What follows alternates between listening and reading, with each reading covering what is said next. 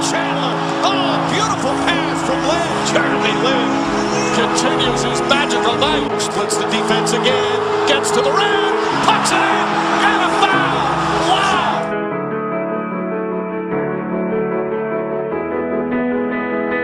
If you've got talent, you can just sit back and relax. Play video games all day.